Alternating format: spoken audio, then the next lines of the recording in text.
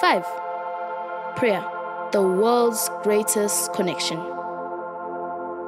6. Prayer is exhaling the spirit of man and inhaling the spirit of God.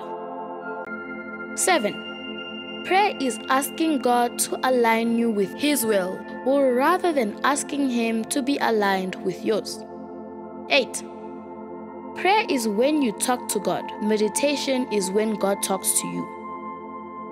9. Prayer should not be regarded as a duty which must be performed, but rather as a privilege to be enjoyed.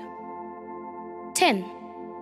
As is the business of tailors to make clothes and cobblers to make shoes, so it is the business of Christians to pray.